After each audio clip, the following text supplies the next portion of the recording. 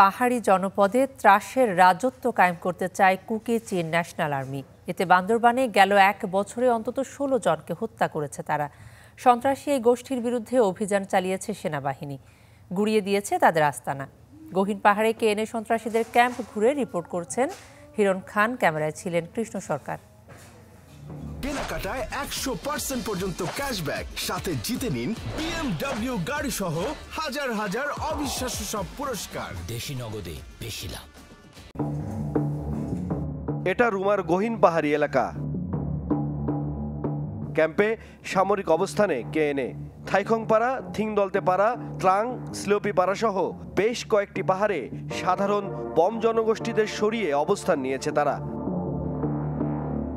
Drone ব্যবহার করে সশস্ত্র ওই সংগঠনের অবস্থান নিশ্চিত করে চ্যানেল টোয়েন্টি ফোর কেএনএর সন্ত্রাসী কর্মকাণ্ডে প্রভাব পড়ে স্থানীয় জনজীবনে। পর্যটন জেলা বান্দরবানে অনির্দিষ্টকালের জন্য ভ্রমণ নিষেধাজ্ঞা দেওয়া হয়। এই দলের প্রধান নাথান বোম, রুমো উপজেলার এডেনপাড়ার অধিবাসী। ঢাকা বিশ্ববিদ্যালয়ের চারুকলা বিভাগের শিক্ষার্থী ছিলেন তিনি।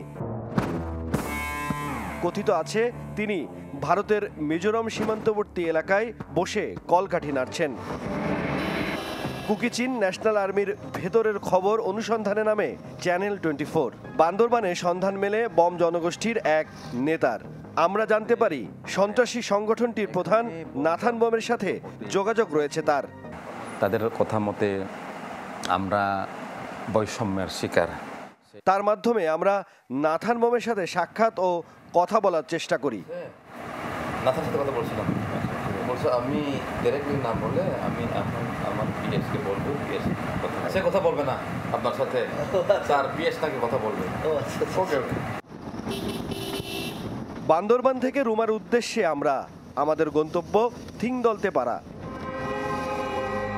আমরা এখন থিং দলতে পাড়া থেকে বেশ খানিকটা দূরে। অর্থাৎ এই যে যে পাহাড়টি দেখছেন, এই পাহাড়টা অতিক্রম করতে হবে আমাদের। এবং এই যে যে পাহাড়, এই পাহাড়ের যেই বেশ কয়েকটি এখান থেকে আমরা ঘর দেখতে পাচ্ছি। এই ঘরগুলো মূলত কেএনের ক্যাম্প ছিল।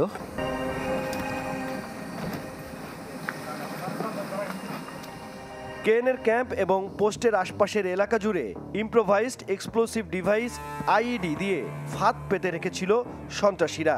একে একে এই কেন্দ্রের সব আইডি বোমা নিষ্ক্রিয় করে সেনাবাহিনী। এই টাইগার পোস্ট থেকে এখানে প্রায় বিশ থেকে পঁচিশ জন কেএনএ সদস্য ছিল এবং তাদের একটি বাংকার ছিল। একটি ট্রেন্স ছিল যেটি দিয়ে তারা মূলত যখনই ওই দিক থেকে কেউ আসতো, তখন এখানে বসে তারা টার্গেট ফায়ার করত। প্রায় দশ দিন পর বৃষ্টি নেমেছে পাহাড়ে। বমদের একটি ঘরে আশ্রয় নেই আমরা। এখানে স্থানীয় জনগোষ্ঠী তুলে ধরেন তাদের দুঃখ দুর্দশার কথা। আমরা শান্তিভাবে চাই। পাড়া খালি কেন? এমন প্রশ্নে তারা জানান কেএনের দলে যোগ না দিলে হুমকি ধামকি দেয়। এমনকি নির্যাতনের শিকারও হতে হয়েছে অনেককে। কুকিচিন কারণে আমরা এই জনসাধারণ এখন কাজকর্ম বন্ধ। হুমকি দে অমুক দে না যাইলে মুরুং খুমি বোম সব এক জাতি ছয় জাতির জন্য এটা। জঙ্গি যারা আসছিল এখানে যারা প্রশিক্ষণ নিতে সেরকম জঙ্গিও কিন্তু গ্রেপ্তার আছে আটত্রিশ জন এবং সেই সশস্ত্র দল যারা এখানে অশান্ত করতে চায় তাদেরকে কিন্তু যৌথ বাহিনী পুলিশ সবাই মিলে কিন্তু আমরা গ্রেপ্তার করতে সক্ষম হয়েছি কিছু কিছু Hiran Khan channel twenty four Bandarban.